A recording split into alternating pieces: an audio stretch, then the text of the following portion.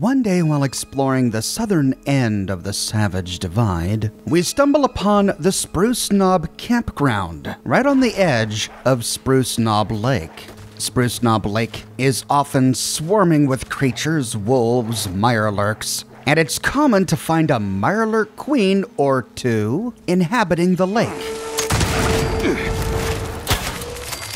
After clearing the lake, if we explore the southeastern corner of it, we find a small, partially submerged cave.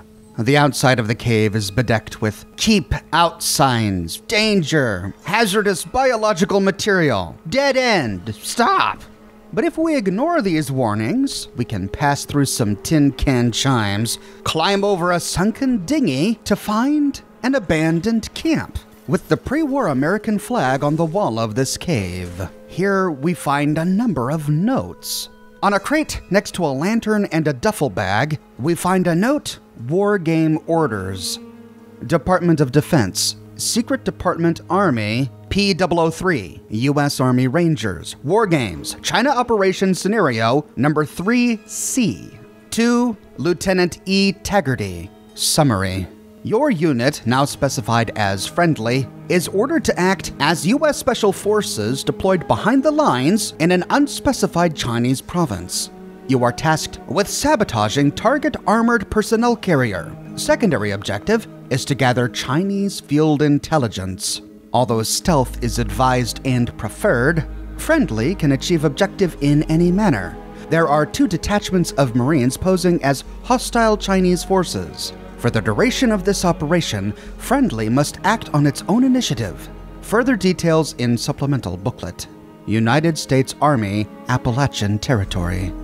This note isn't dated, but it was clearly written before the Great War of 2077. Does that mean this small camp in the cave was struck by U.S. Army Rangers playing some war games when the bombs dropped? Near to the campfire in the middle of the cave, on a crate we find Taggerty's Journal, October 21st, 2077. Arrived at Appalachia. It's beautiful, safe. The Thunders treating the whole thing as an extended field trip. Asked Wilson to knock some sense into them. A favorable performance evaluation could mean choice assignments in upcoming offensive. These war games are being monitored closely. It feels like something big is around the corner. I sympathize with the men, though. Man, it's good to be back in America. And after the games, a two week furlough. De Silva grew up around here. She has offered to show us around the local watering holes, but mission first. And there we get our date. Lieutenant E. Taggerty arrived in this cave to participate in war games on October 21st, 2077, two days before the bombs dropped.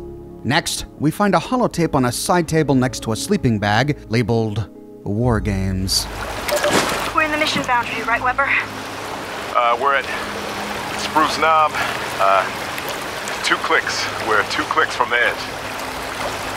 So we hug the line, move hard, move fast, and we may catch the Marines with their pants down. LT, you may want to listen to this. What is it, Moreno? Com. Chatter's weird. Let me. No, no, no, no, no. Confirm nuclear strike on New York. Shit. Shit! Oh, God. It's the end. The end. People! The whole channel's been uh, blocked. Not sure how they're doing that. Man, the brass has gone all out.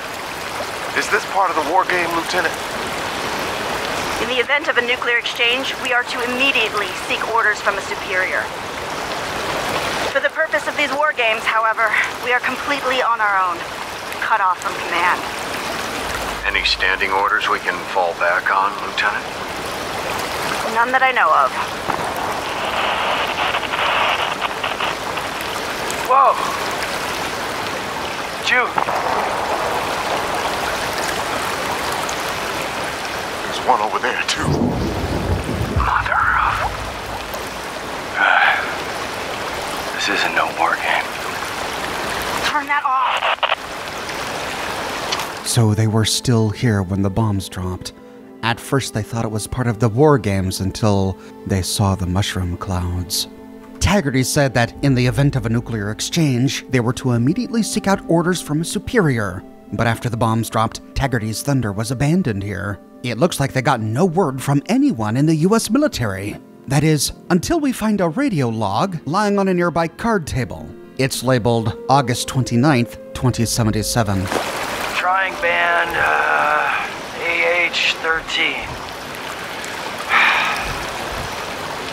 Lieutenant, I got something. I can't make anything out. Sorry, working on it. Maxson to Appalachia.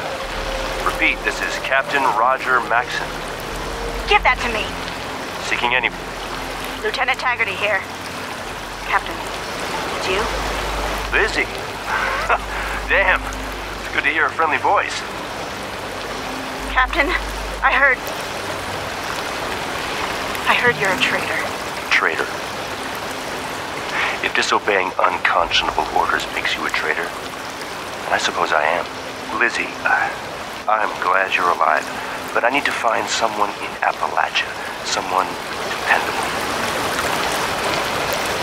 That's where I am. The Thunder was running war games against some jarheads. So there's still one piece. By God, Lizzie, this this is good news. Roger, you're a traitor. I could be court-martialed even talking to you. Lizzie, look around you. The army's gone. America has fallen. I know you have questions, but we need to talk. There are things I learned at Mariposa. I got a scientist with me, Dr. Takano. We'll set up a secure channel. I'll answer all your questions then. Captain, Lizzie, you know me. We need to talk. we'll monitor this band. Taggerty out. Captain Roger Maxson, and we recognize that name from the events of Fallout 1. Captain Roger Maxson was the founder of the Brotherhood of Steel.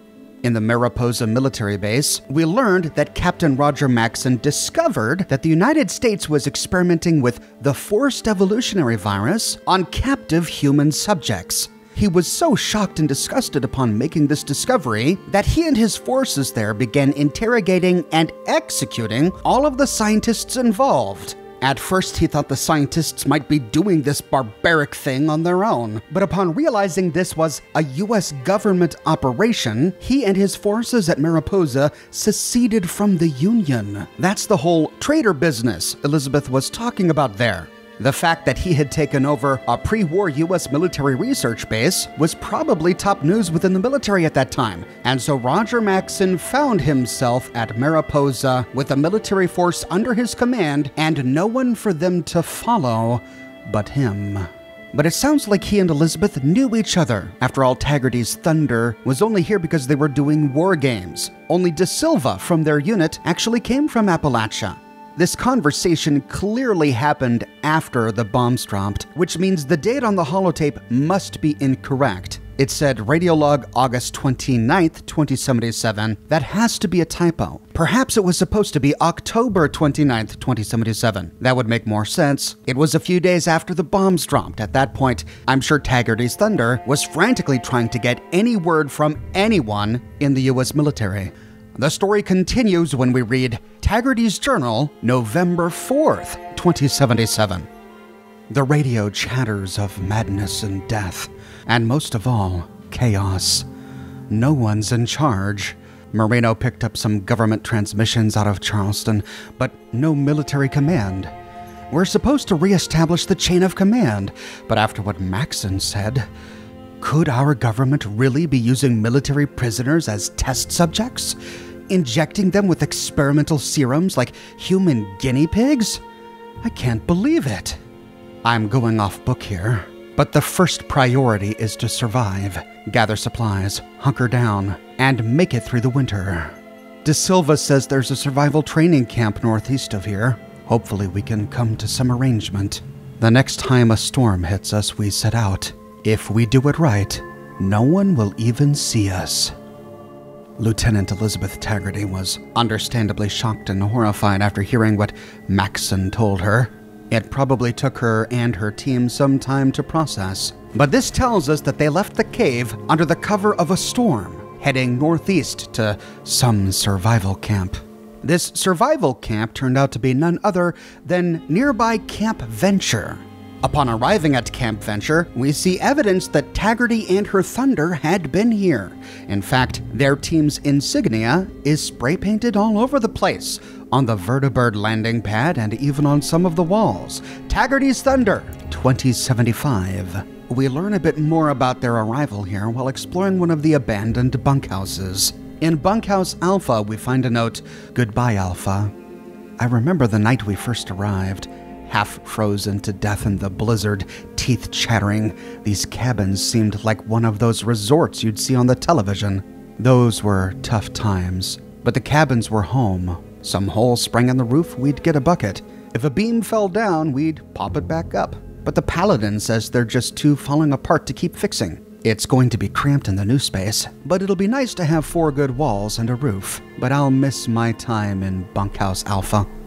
So Taggerty's Thunder waited until a blizzard hit to arrive at Camp Venture. Looks like the army remnants that were occupying Camp Venture accepted them in with open arms. And it sounds like, despite her reservations, Elizabeth Taggerty finally believed what Roger Maxson told her. The US government, the US Army was gone.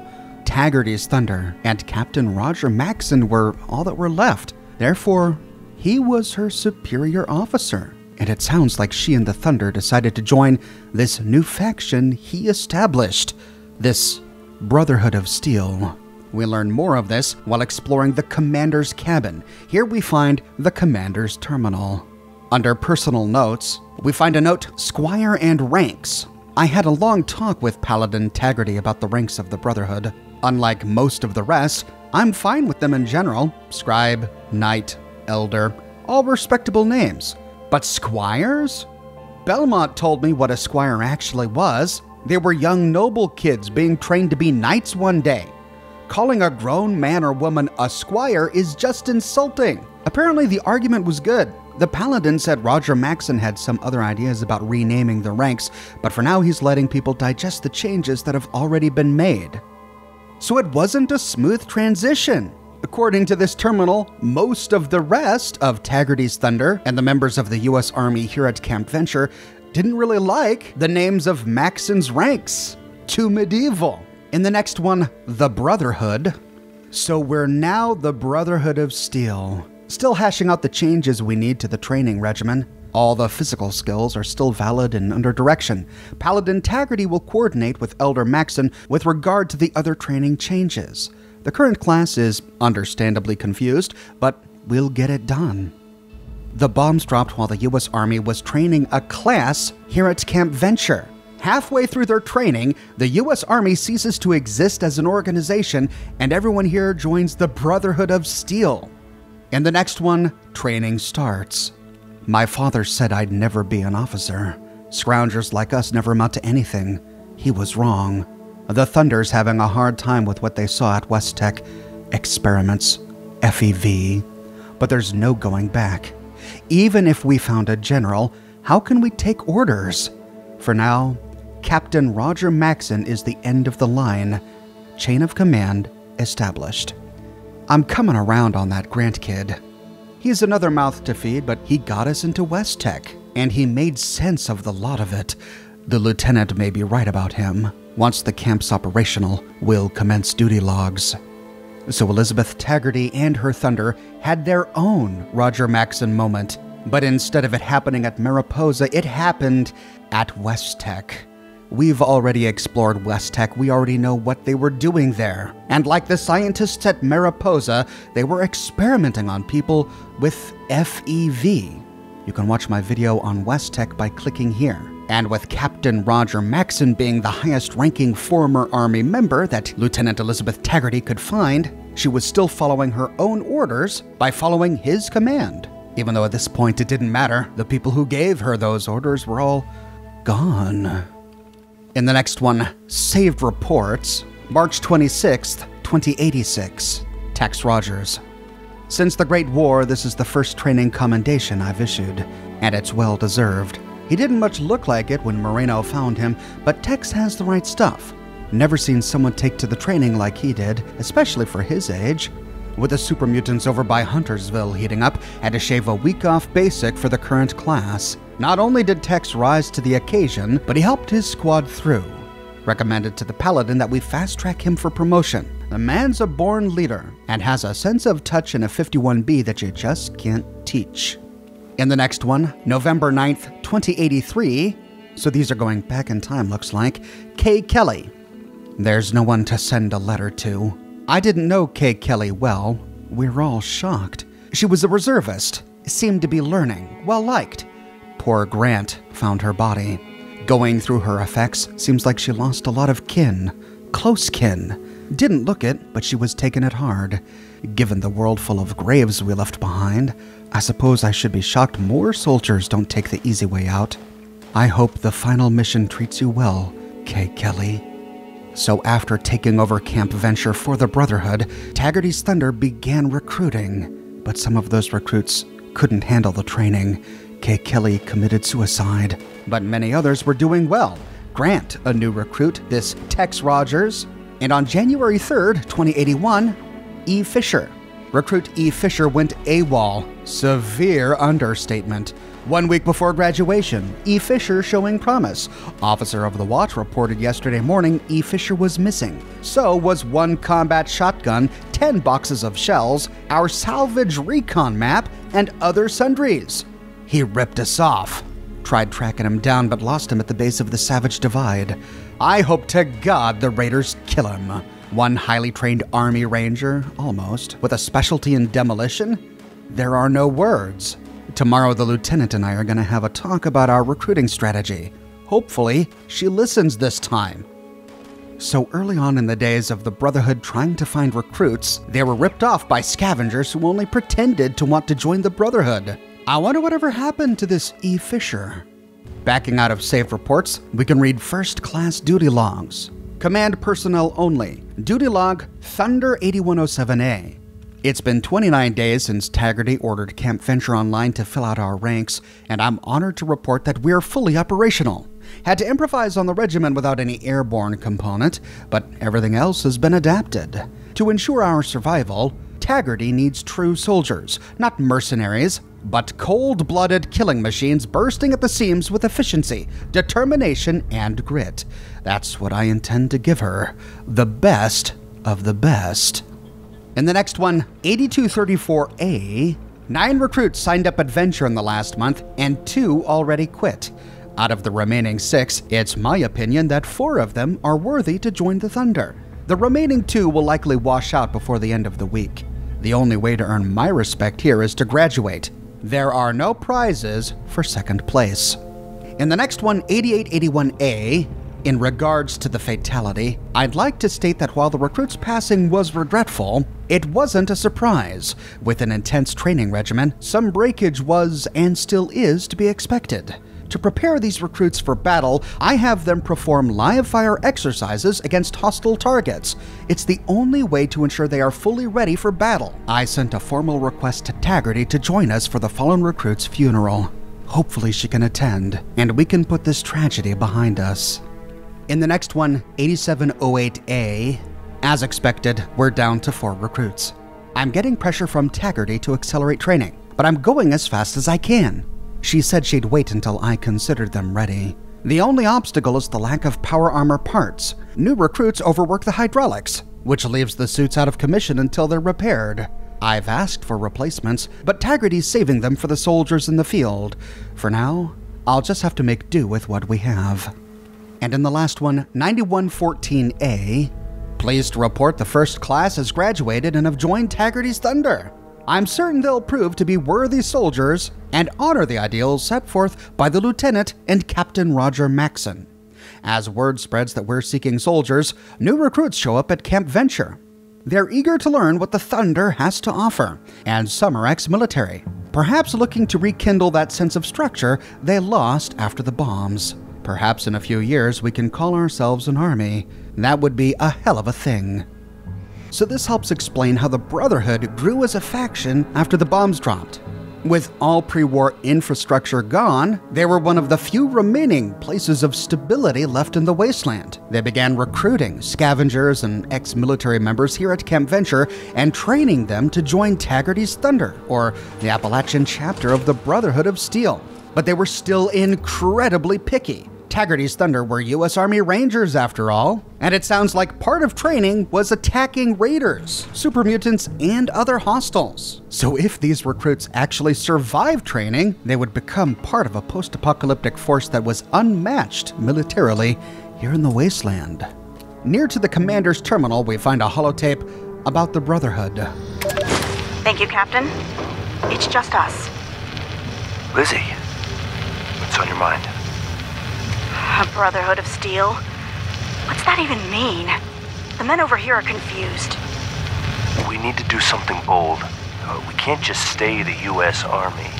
What's gonna happen, and this is only a matter of time, is some general or some goddamn politician is gonna exit a vault and start ordering us around.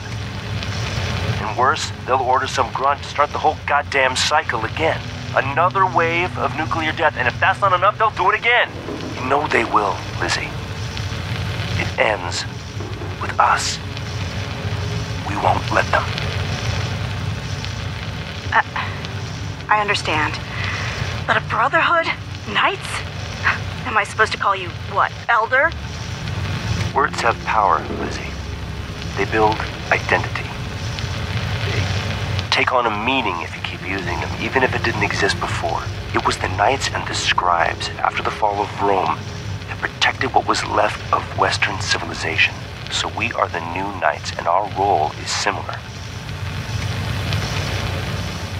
But we'll need more than names. We'll need new traditions, our own mythology. Something people can believe in to their core. Is this necessary? What else can I do? Declare myself president? Make you a senator? Look around, Lizzie. Something's killing us. More than the rads and the freaks out there. Depression. People have lost everyone. Every goddamn soul. Wives, kids, loved ones, even the goddamn mailman. We need to replace it with something. Otherwise, people's souls will wither. We'll be little more than walking dead men. I'll do my best to see the orders carried out, sir. Give it time, Lizzie. People have a hunger to believe in something. Just let them work their way to it. Elizabeth Taggerty was a soldier. She was following orders. And Captain Roger Maxson was her commanding officer. But Roger Maxson was a bit of a visionary. He was trying to tap into what inspires human beings. This new order and these new ranks and names he thought would give people new meaning in this post apocalypse. And we know that he was right, for his order lasted hundreds of years long after his death. But at the moment, in the new ashes of the old world, people were having a hard time with the transition. In the basement of Camp Venture, we find a note on a side room table storeroom report. This whole transition has taken some getting used to. But I thought you could appreciate this update. In the past, if a mission or patrol was cleared for some combat performance chems, the usage rate was near 100%. But now, half the time or more, the chems are returned afterwards. There's the other stuff too. You hear laughter more. Sometimes it's at the expense of the new rules, but people just seem happier. I think it's the sense of purpose. We know we're going somewhere. There's a plan. For De Silva, I think she just loves the new patch. Now you can't say I never have good news, Paladin. Then, when we go to the nearby shooting range, we find Shelley's letter.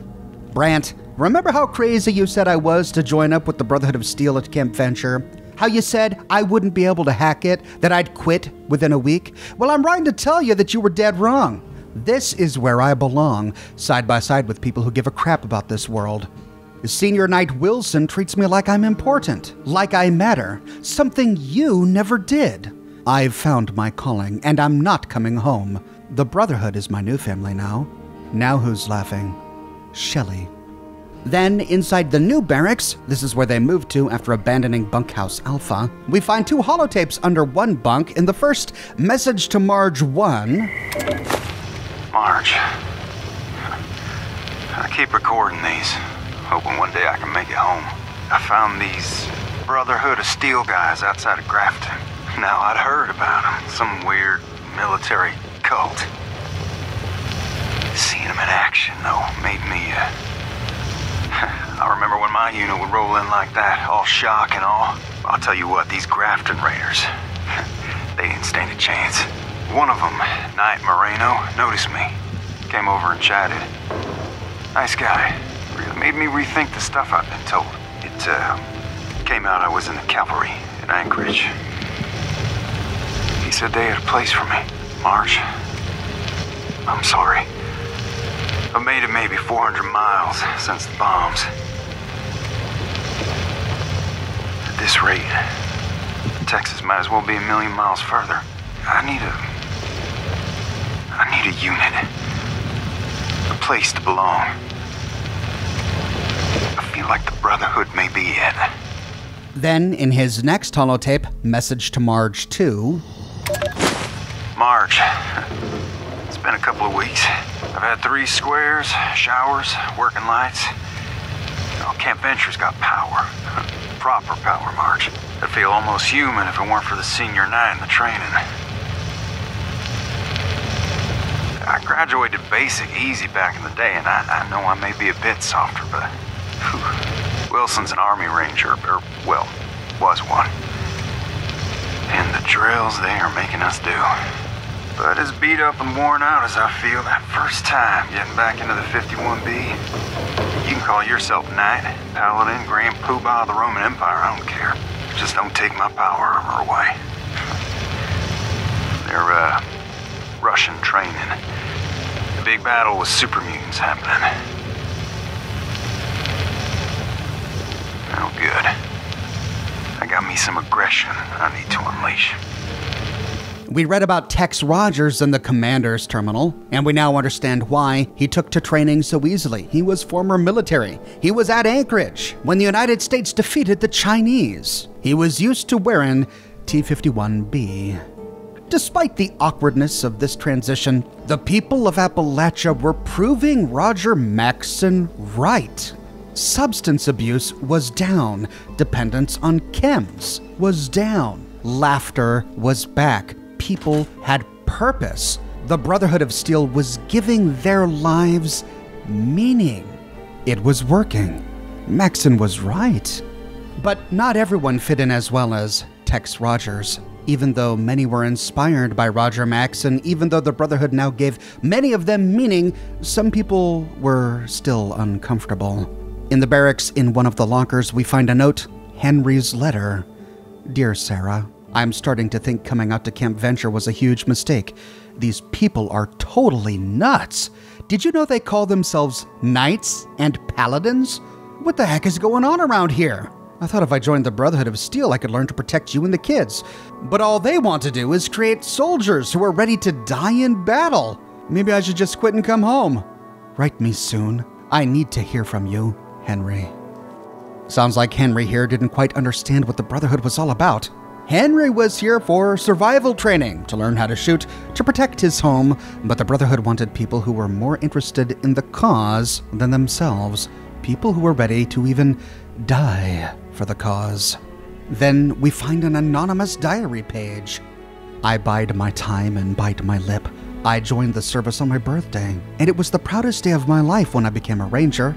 Almost as proud as I was to be tapped to be in Taggerty's Thunder.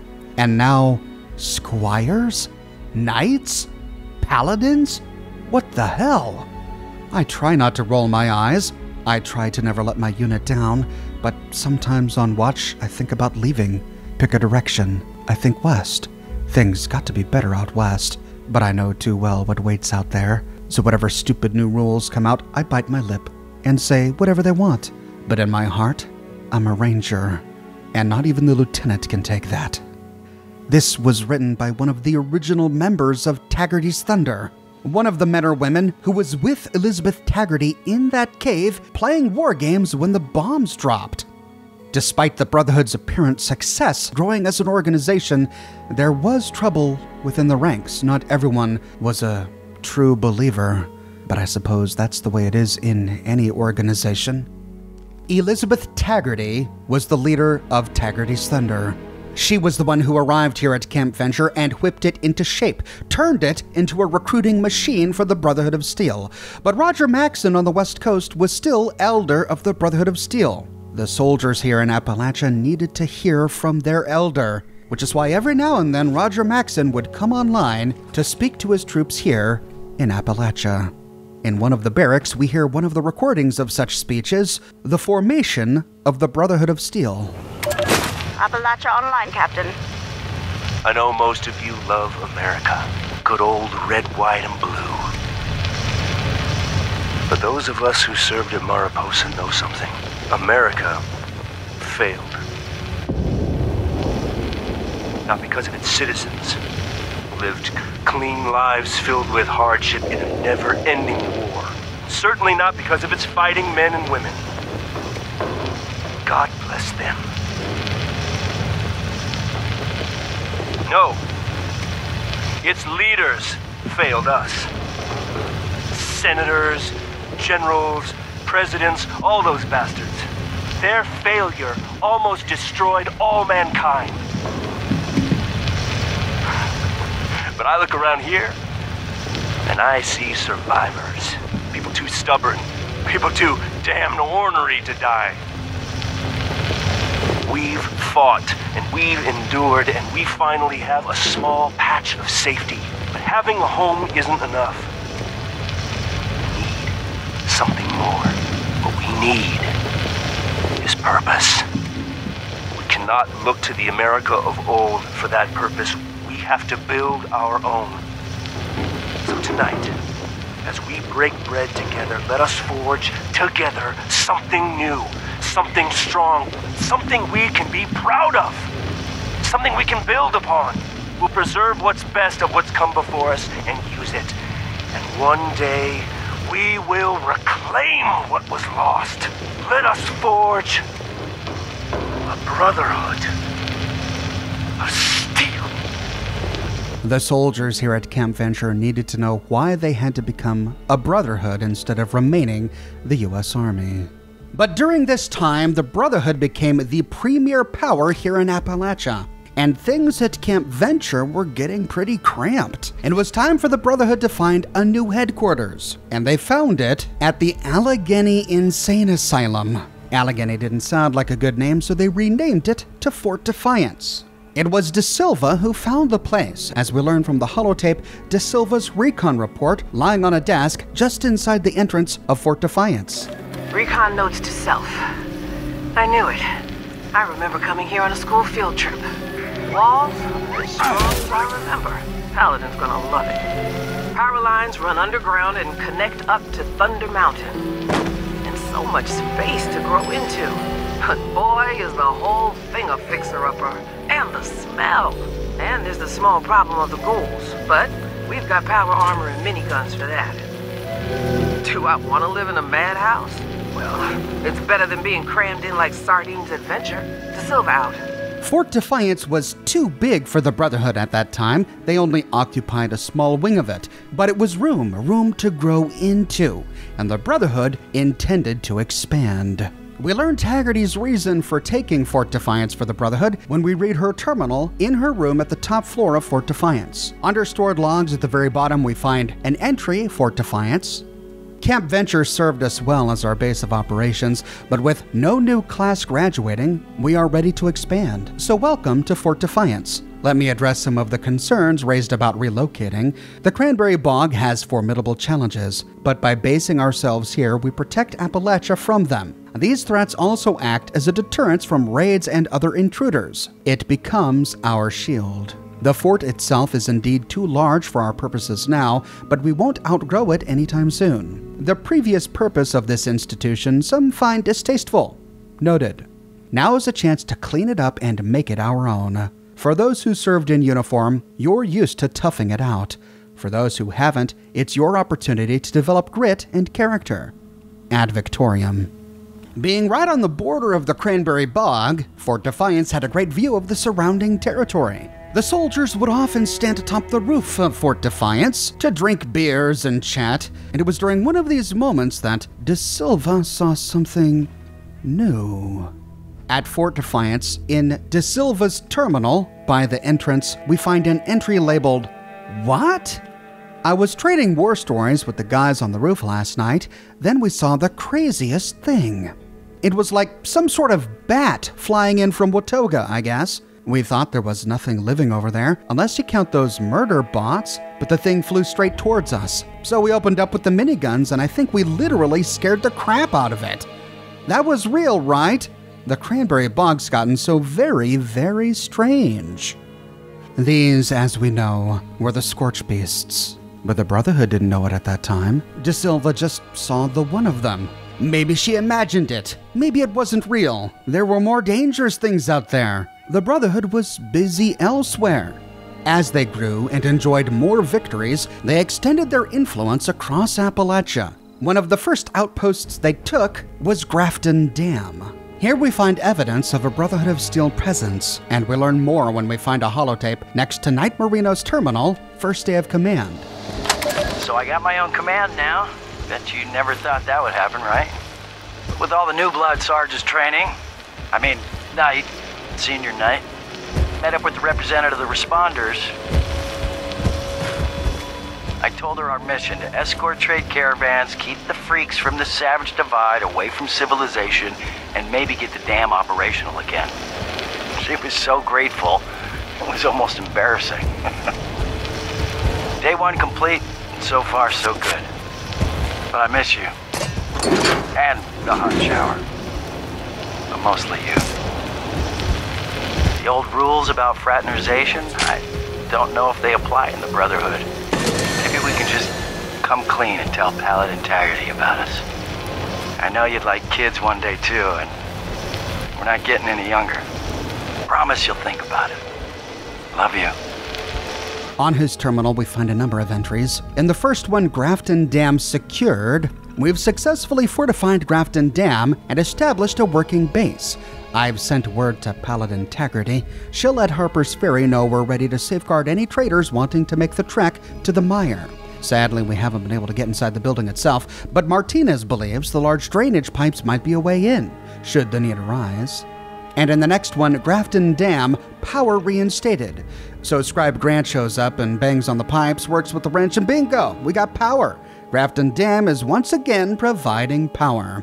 Power means we'll have an easier time keeping the Morgantown slash Harper's Ferry trade flowing. I know Paladin Taggerty wants to keep the Brotherhood a military first outfit, but we could use a thousand grants.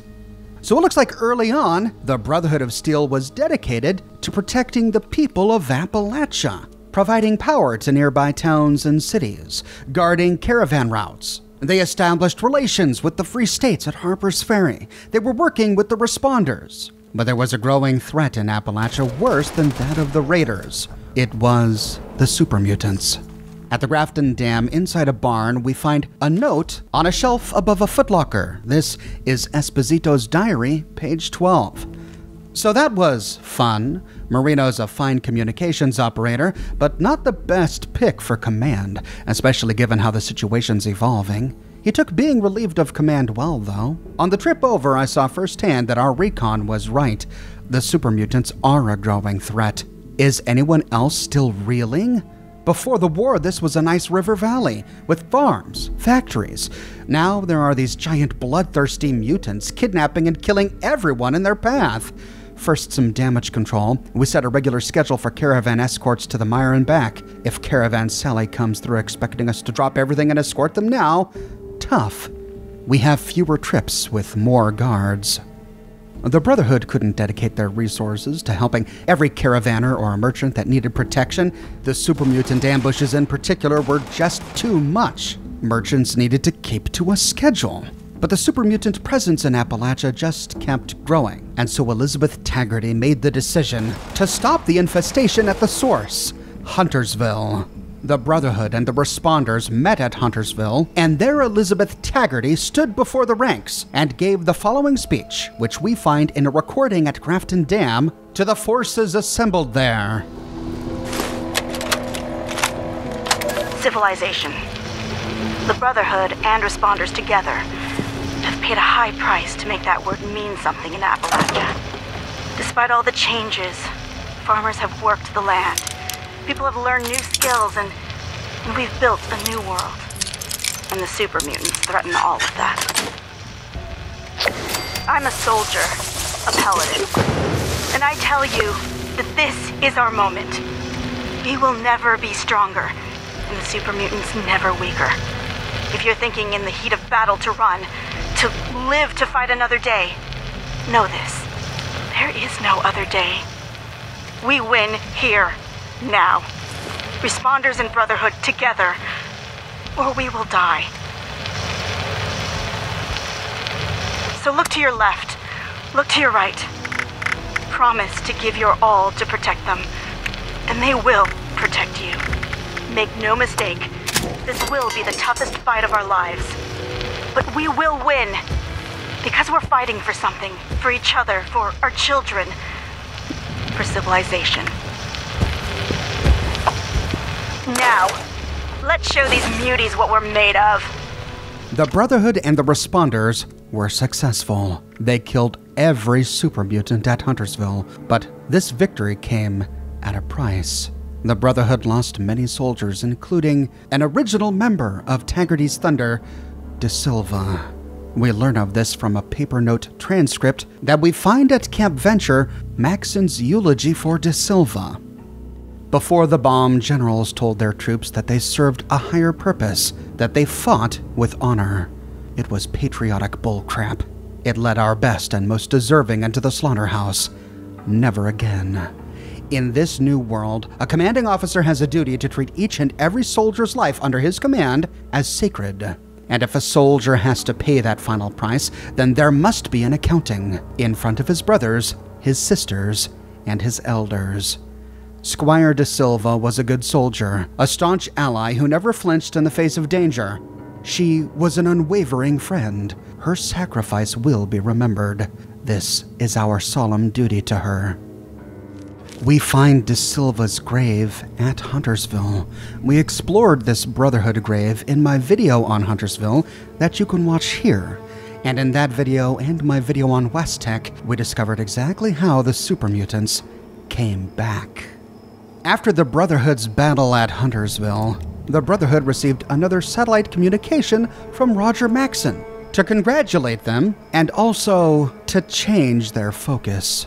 We learn of this while exploring the barracks at Camp Venture, where we find the holotape, The Preservation of Technology. Congratulations, Appalachia. Paladin Taggerty told me of your victory at Huntersville. I know it was costly, but future generations will thank you, as I am thanking you now.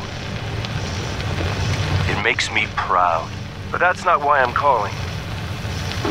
One of the Brotherhood's standing orders is being on the lookout for valuable technology. Anything that would help us in our efforts. But as I look in every direction, I see chaos. The lights are out, and men have become little better than barbarians. Civilization. Civilization is something I think of every day. I know Lizzie is probably sick of the word by now.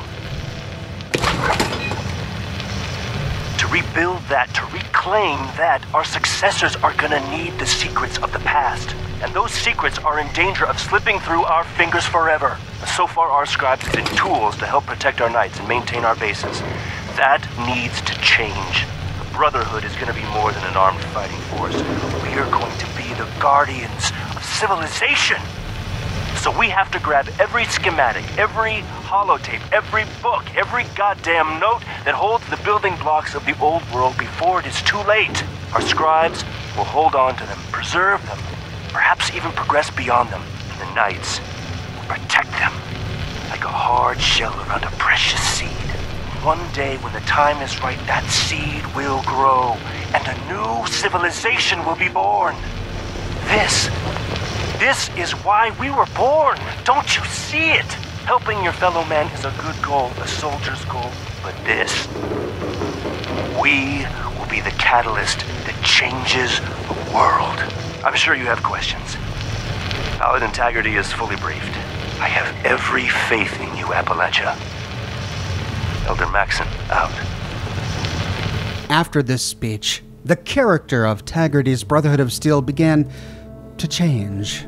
Their focus became securing technology, not helping civilians. We learn as much while exploring the Grafton Dam. Back at Grafton Dam, we find a note in a metal storage building on the bottom of a shelf above a mattress. Final orders for Grafton Dam. We expect your squad back at Camp Venture within the month. As you're packing up, please keep Elder Maxson's new orders in mind. We have to secure any valuable and potentially dangerous technology. So, a couple of parting orders. One, use the contacts you've gathered with the responders, and even the Free States, and see if they know of any hidden caches of technology. I know the Savage Divide had some government research installations. If we can get solid intel on where they are, we can mount a recovery expedition. 2. Determine if anyone, friend or foe, has any technology that is potentially dangerous. Anything involving nuclear technology, laser, or plasma weaponry, or anything. Catalog it, but don't act. Knight Wilson and I will evaluate on a case by case basis. You must have mixed feelings about leaving the dam, but our mission has grown beyond just protecting civilians. Don't forget it, Paladin Taggerty. If things were looking good for the Brotherhood. They were victorious at Huntersville. They were the most powerful faction in Appalachia. But then there were those big bats, like the one De Silva saw over the cranberry bog. The problem was, she didn't imagine it. They were real, and they were growing in number.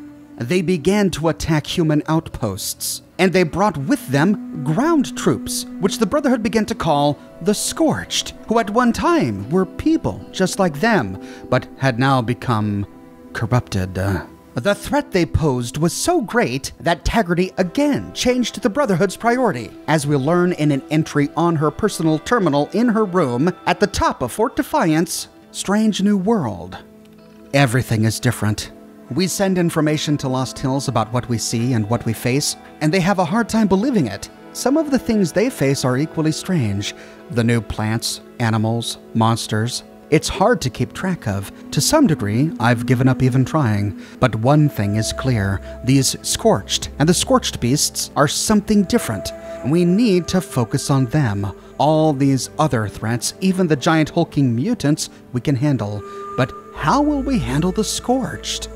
The Scorch Beasts and the Scorched became a threat greater than anything the Brotherhood had yet faced. Raiders, super mutants, nothing compared. And with Fort Defiance so close to the Cranberry Bog, Scorch Beasts began to attack them there. But these attacks were just too much for the forces garrisoned at Fort Defiance to deal with by themselves. And so Taggerty and Maxson made the call to abandon Camp Venture and move all their forces into Fort Defiance, as we learn when reading a letter in the command center inside Camp Venture, letter to Tommy. Tommy, Knight Wilson says we're deploying tomorrow. Graduation's early. Fort Defiance needs men now, apparently. I know you don't approve of my decision to come here, but everyone's got the Brotherhood wrong. There's an army of Scorched in the bog. It's not lies. I've seen the Scorch Beasts with my own eyes. You should come. We need you. It's hard to sleep knowing I'm heading in. Training's one thing, but we'll be fighting for real in days. Makes sense to me Defiance is the old Allegheny Asylum. Lord knows we have to be crazy to go there. I know it won't mean anything to you, Tommy, but ad Victoriam. For all our sakes, ad Victoriam. B. B stood for Belmont, as we learned in another nearby note. Could Esposito and Wilson's training even come close to preparing him to fight the Scorched? Grafton Dam, then Camp Venture, the Brotherhood was pulling out all over Appalachia. We learned that the same thing happened at the Big Bend tunnels. In my video on the Big Bend tunnels, which you can watch here, the Brotherhood was just outside them for a while, but then mysteriously vanished. Now we know why and they canceled all planned operations, like the one they were planning into Watoga. On the top floor of Fort Defiance, we find a note on a metal crate Operation Watoga. Mission status aborted. The cost is just too high. Once we have the Scorch Beasts under control, we can again consider additional forays into Watoga. To make matters worse, it was at this time that the satellites the West Coast was using to keep in contact with the Appalachian Brotherhood began to fall out of orbit or fail. We learn as much when we find a holotape on a desk in Taggerty's room. Elder Maxson's final conversation. Lizzie, Takano says the satellite's failing. So, this is it. Elder, I'm not ready for this. Can't the scribes do anything about it? No. The infrastructure of the old world is failing. But you are the absolute best second in command I have ever had the pleasure of working with. Now is the time for you to be in charge, Lizzie. I know you're up for it. I know you won't let your men down. Roger. We don't have the men for the mission. The Bravos just keep coming. Then find new men. Think outside the playbook. Elder, you trust the outsiders too readily. They will betray you. You too, Paladin? Everyone around me keeps saying shut the world out, only look out for ourselves. Even my goddamn son. But the Brotherhood alone can't rebuild what's lost. We need them. Hell, our whole plan is for them. I'm not thinking about some far off future, Elder. I'm worried about today and tomorrow. We're fighting non-stop to keep the Bravos contained. I can't afford a weak link. I trust your judgment. If our scribes find anything new, I'll see if we can get word to you somehow. And Lizzie. The satellite cut out before Maxson could finish telling Lizzie what he wanted to say. Losing contact with the West Coast hit everyone hard. As we learn in a note we find in one of the barracks at Fort Defiance no more satellites. It's been so long since communication fell with Elder Maxson and Lost Hills. Paladin Taggerty's amazing, she truly is. But I miss the Elder. I remember sitting in Camp Venture, and he had a vision of some way through this hell on earth to something approaching what we lost. I can't imagine a better general than Paladin Taggerty, but what I'd give to sit down and listen one more time to the old man tell us of what could be. Elizabeth Taggerty was now left the lone leader in charge of the Appalachian chapter of the Brotherhood of Steel. Despite Roger Maxson urging her to work with others, we learned that Taggerty was never able to trust outsiders. Instead, the Brotherhood's isolation just grew worse. In Paladin Taggerty's terminal, we find a number of entries. In the first one, Scorch Beast Analysis, We've learned much since we lost contact with Elder Maxson. Grant says it's pretty much worst case. Threat assessment. Actual Sierra Bravos are reinforced, mobile, and cunning predators. Bravos use echolocation to call in ground reinforcements. The breeding cycle for the Bravos is off the charts. The saving grace in all of this is that the Sierra Bravos only nest in specific places. We found three nests in the old mining tunnels below the bog. But there's a main nest somewhere that's the real problem. In order to stop the Bravos from spreading outside Appalachia and possibly becoming an extinction event, we have to destroy their main nests. Then, reading her stored logs, in the first personal notes, two months and no word from Maxson. Grant has declared communications with the West Coast dead, and dead for good. Every time we think we have the Bravos licked, they come back in greater numbers. Only Grant and Wilson know of Takano's final assessment. If the word got out, we can't guarantee there won't be panic. Every day that goes by, we're chewing through ammo, power, and sometimes knights. We desperately need to make it to the end zone, or Appalachia's toast. Or far worse. Then again, and more explicitly in her next note, change of priorities. To all Brotherhood forces, from Paladin Taggerty, commanding officer of Fort Defiance. Up to now, our priorities have been secure dangerous and useful technology, protect the people of Appalachia, expand our operational capacity. But the brass has talked and we're changing that. We have a plan to lure the Scorch Beasts into a kill zone with some tech that Scribe Takano and Scribe Grant have been working on. Until the skies are clear, our new priority is to wipe the Sierra Bravos out. Some of you will be receiving orders to secure food, munitions, and other supplies from the responders in the Free States. Be firm. Tell them that the Scorch Beast threat is real, and that once it is dealt with, the Brotherhood will once again help protect them. Under no circumstances are you to initiate hostilities or even take supplies. However, in order to get the supplies we need, you are authorized to ignore salvage rights claims. If it's not on one of their farms, put simply, it's fair game. I know this is controversial, but we don't have time to play politics. There's a war on. Let's win it ad victoriam. Instead of working with others as Maxson instructed, Elizabeth Taggerty chose to simply take what she needed. It was orders like these that gave the Brotherhood the excuse to take the Thunder Mountain power plant from the Free States. We learn as much when we come upon the Free States terminal inside Thunder Mountain. Here we find five entries. Under entry 1, it's been almost a month since we took over the Thunder Mountain plant, and things are quiet. We've had a few raider groups hit us, but they've never really been a threat. I'm not sure why we're holed up in this place. Deke says holding the plant is important, that it puts a chokehold on the region, but I'm not quite sure what he means. Maybe if we linked up with some of the other Free States groups around these parts, we could get it done. But for now, Deke says we babysit, so that's what we're going to do. In entry 2, Woke up in the middle of the night to the sound of explosions and gunfire. I could see from the roof that we were under a full assault. The enemy was definitely military, well armed, well trained, and determined.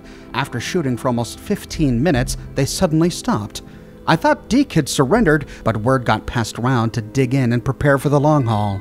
What scares me is that none of us are sure what the enemy wants to wipe us out or take over the plant, or both. In the next one, it's been two days since the attack, and it's clear that the enemy is here to stay. They've set up a damn command center, and more men have arrived.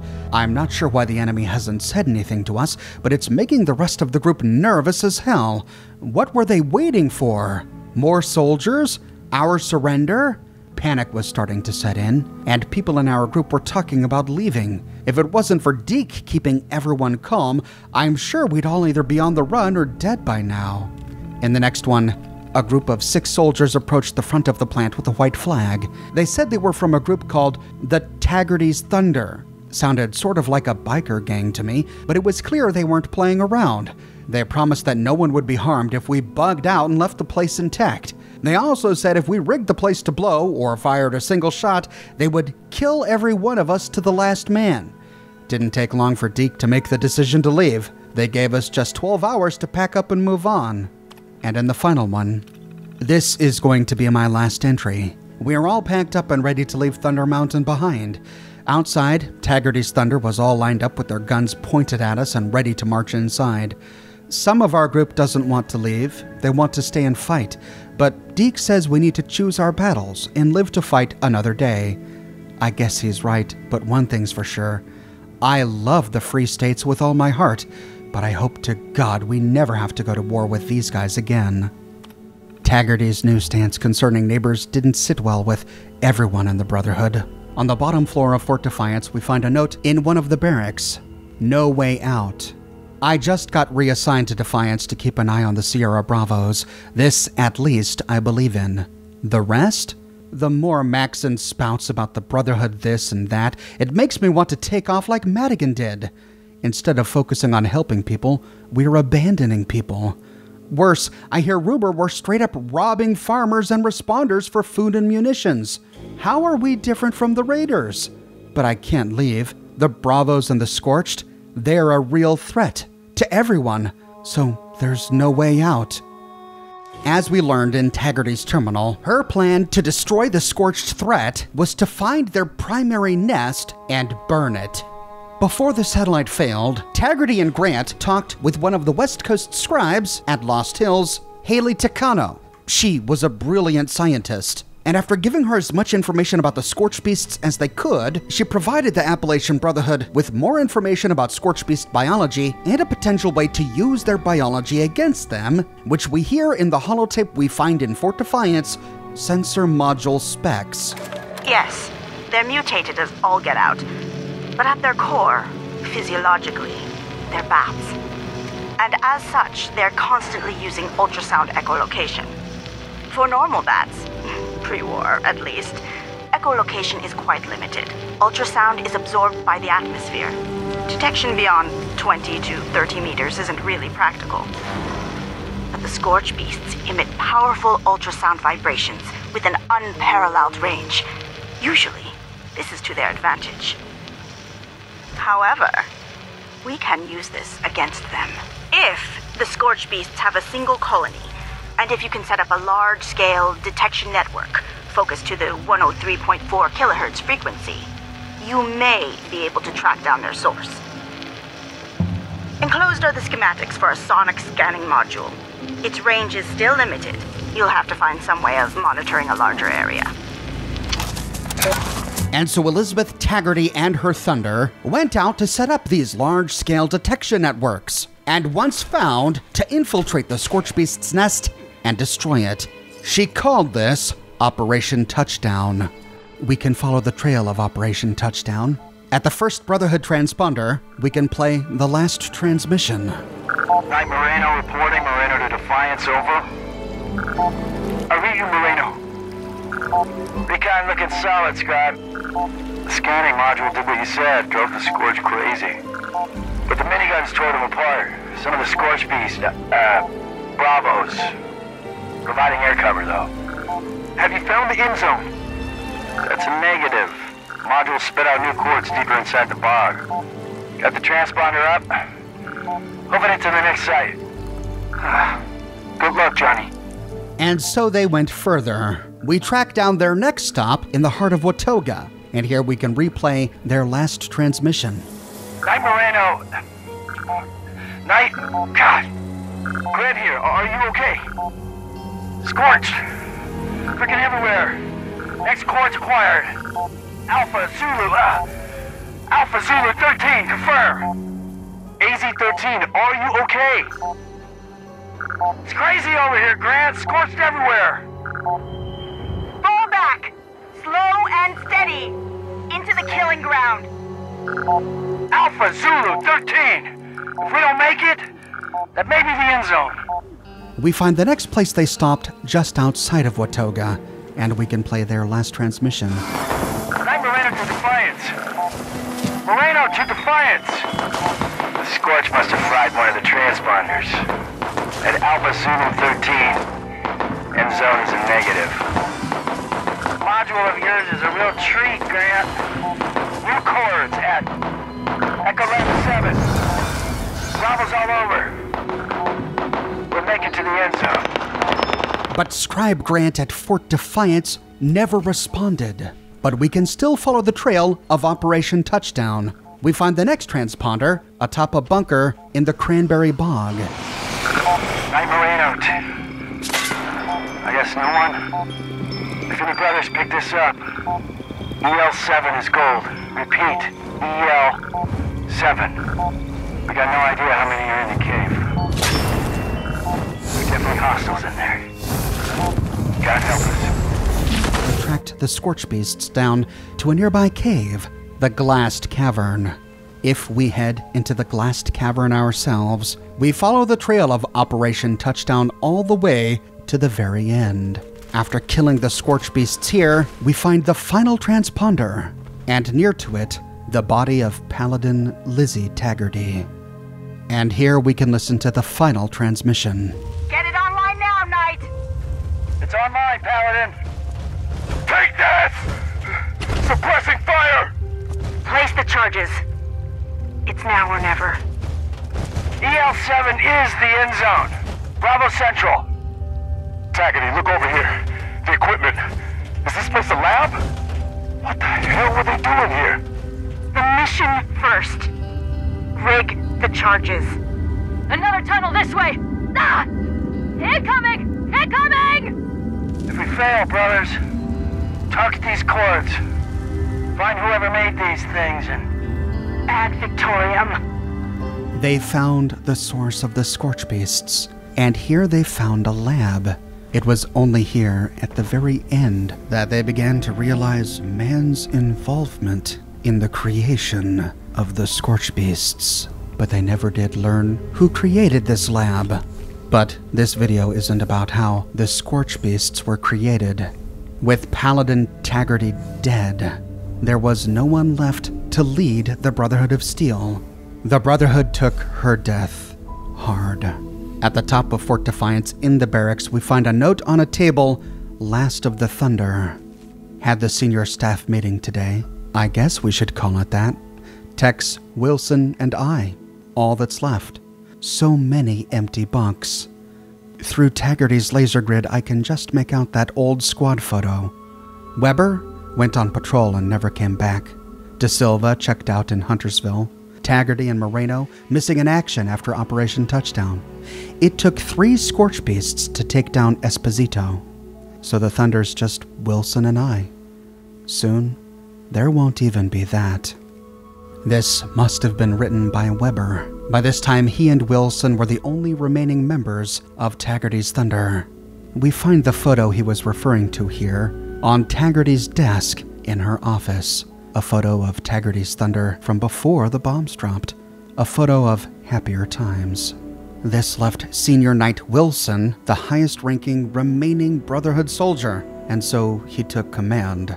At first, Operation Touchdown looked like a success. On the top floor of Fort Defiance, in the barracks, we can read Senior Knight Wilson's terminal. Navigating to stored logs, we can read February 2nd, 2095. Subject, She Will Be Honored.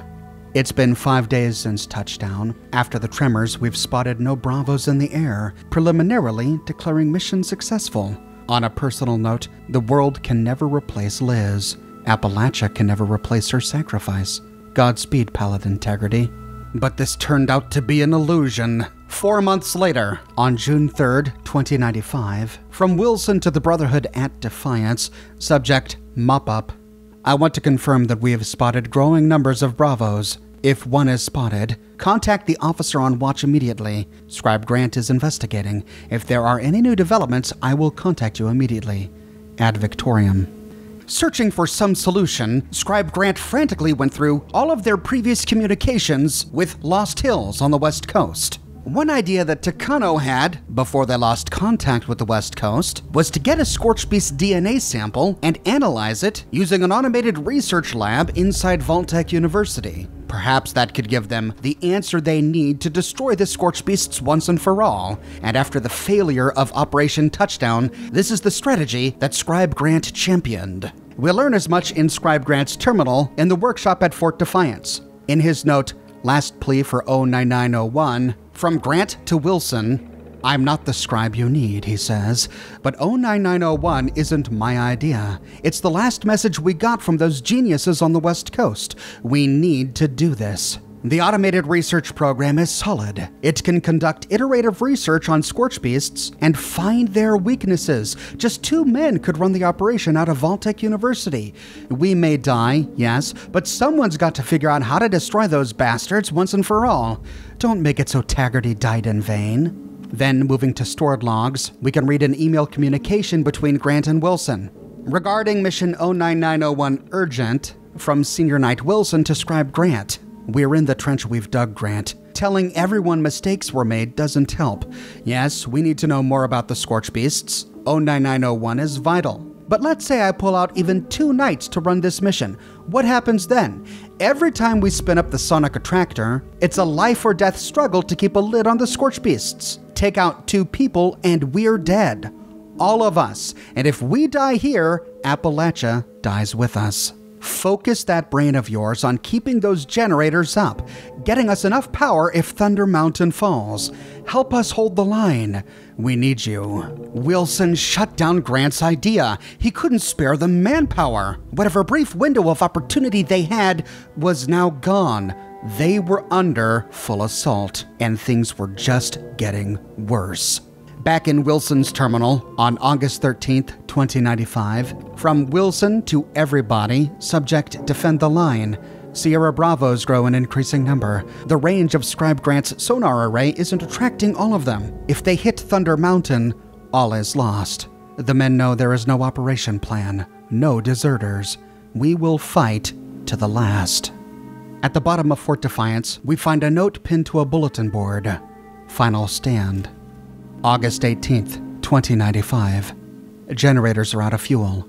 With all the Scorch Beasts, Not sure how long the boys at Thunder Mountain can hold out. If the AAAs go down, we're all dead. For anyone that reads this, know I tried my best. We all did. The Brotherhood of Steel held the line as long as we possibly could, but the Scorch Beasts keep on coming.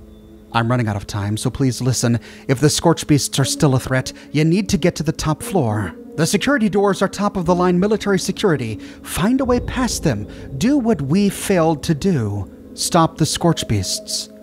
Powers flickering. Have to go. In the end, I get it. Ad Victoriam, Scribe Grant. The Brotherhood was under attack, both at Fort Defiance and at Thunder Mountain. But which outpost held out the longest? We just read that power was flickering. Does that mean Thunder Mountain had been lost? Heading to Thunder Mountain, inside we find the communications terminal. Then, under pending logs, we can go down to August 18th, 2095, the same day Scribe Grant posted his note to the bulletin board. Logged by Squire Rosen. Transmission received from FDHQ 1508. Multiple Sierra Bravos inbound, Thunder. Prepare accordingly. Scouts confirmed the transmission, multiple sightings, masses of unknowns spotted on the ground. But they're scorched. They have to be scorched. Our defenses are finalized. If the power falls here, Defiance will be defenseless. Everyone here knows what's at stake. I am proud to report not a single man or woman has abandoned their post. Ad Victoriam. Then, one day later, August 19th, 2095, logged by Squire Rosen. I'm writing this report with little hope any brother will ever read this. The Scorch Beasts attack in endless waves. The AAAs are running low on ammo. We had to abandon the roof after being overrun by the Scorched. The forward assault team was overrun. Only myself and Squire Gilden are left, and the walls won't hold out for long. It has been a singular honor to serve. Whoever is reading this, abandon Appalachia and pray the Scorch Beasts do not come for you. The Scorch Beasts killed the Brotherhood at the Thunder Mountain power plant. Without power, the AAAs at Fort Defiance stopped firing, and the Scorched overran the asylum. The Brotherhood died with Scribe Grant, but before he died, as the Scorch Beasts were closing in, he took the time to record this holotape. We find it on the ground next to the note he pinned to the bulletin board. Scribe Grant's plea. If you're hearing this, stranger, I'm dead. The Brotherhood is dead. But I'm relieved. Relieved there is someone, anyone, alive. I honestly don't care if you're Chinese, American, or whatever. You're a human being. Listen, I don't have much time, but the Scorched are more of a threat than you can ever imagine. You have to find a way past the security I installed. If you're former military, all you need is your government-issued military ID card. If not, find a way. I know, some ghost probably isn't very persuasive. But look past your own skin and consider there's so much at stake. We did. And that's why I'm going out to die.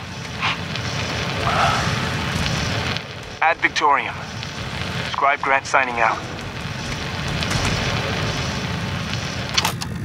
And that's the story of how the Brotherhood came to arrive in West Virginia, and the story of how they failed. I publish new Fallout videos every week on my channel, so if you don't want to miss my next episode, be sure to subscribe and to click that bell notification button.